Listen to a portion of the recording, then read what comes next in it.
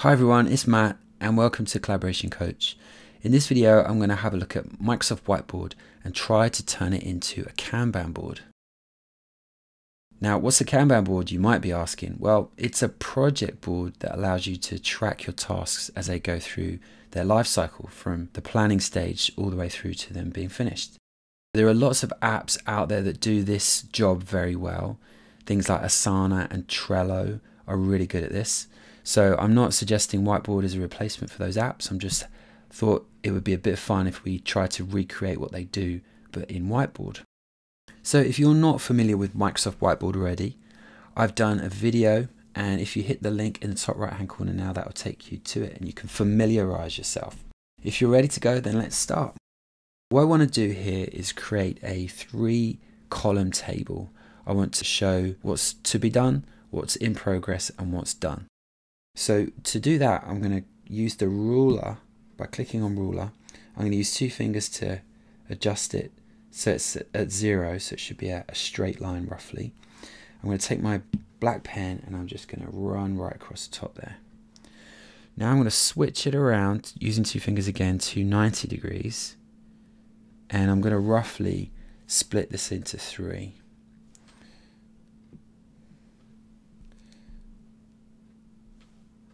So there we go, I've got my three columns. Now I'm going to I'm going to move my ruler over here. In fact, I don't need it anymore. I'm going to turn it off. And then I'm going to label each of the columns. So this one is to do. This one is doing. And this one is done. Now I can do two taps, which will take me to see the whole canvas. Now you can see my my lovely table there. Now for each of the columns I want to put tasks in those columns and to do that I'm going to use these text notes. So down on the plus button on the ribbon or the toolbar here I can hit text note and it will take me through to my text note. I don't have to type anything for now I can just hit done and that's going to place a text note on my canvas. I can just press it I can use the dot to resize it and then I can place it in the column that I'm interested in. So you can see how um, I could create lots of these and these could be the tasks that have been assigned. So if I click on with one touch and then press the edit button, that will take me through to the edit page where I can type. So say this was connected to a task, say write script for video 260. Okay, so we could put in information about that task. So three hours work, it's assigned to Matt, and we could put other information in there.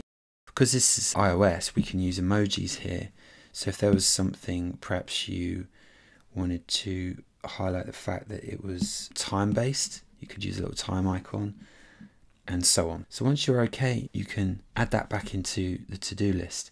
Now, all you need to do as these jobs get done is select them and then move them into the doing column. So once that job started, it's in the doing column.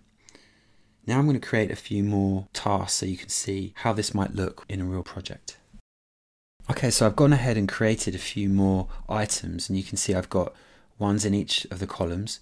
And if I zoom in, if I do a pinch and zoom, you can see I've actually color coded them now. So I've got the yellow ones which are assigned to Matt, blue ones that are assigned to Polly and for obviously for each of these I can edit them.